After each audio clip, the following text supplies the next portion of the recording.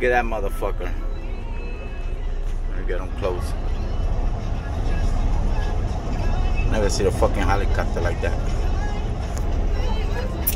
Just going up and down, up and down.